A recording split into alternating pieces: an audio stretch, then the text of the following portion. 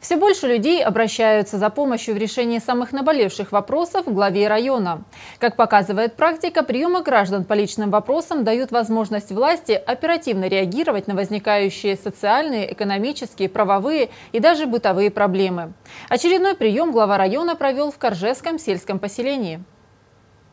Прием граждан Роман Синеговский провел вместе с главой Коржевского сельского поселения Людмилой Трегубовой. На прием пришли 14 жителей. Они обратились за содействием в решении самых разных вопросов, связанных с ремонтом дорог, арендой земельного участка, подведением личного подсобного хозяйства, обеспечением льготными лекарствами, получением целевого направления для поступления в медуниверситет, оборудованием пандуса в многоквартирном доме, где живет человек с поражением опорно-двигательного аппарата аппарата и многими другими.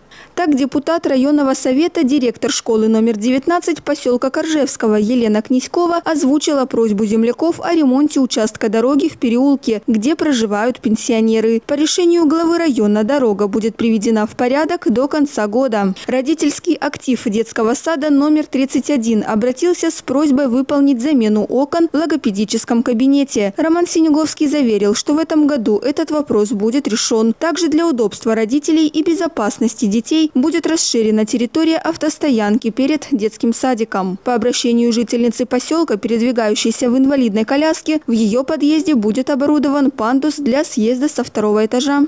Если ваша ЖКХ сделает работу, мы вам купим материал. Давайте посмотрим, что То есть пусть они нарисуют схемку по образу и подобию, чтобы не изобретать велосипед, найдите в городе, где он нормально работающий, посмотрите, пусть ваши срисуют, посчитают материалы, мы вам купим материал, пусть они сварят и поставят.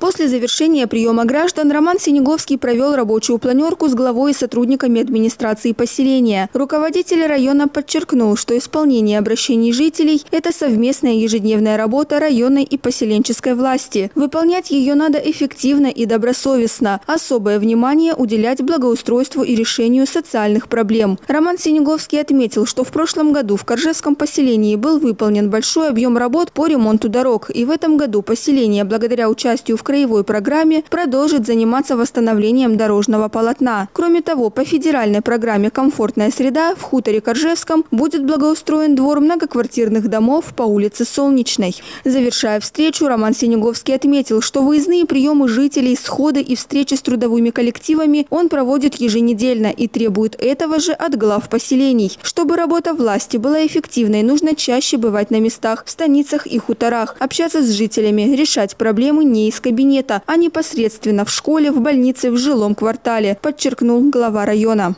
Надежда Калинина, Александр Косицын, Александра Тимовская. Программа «События».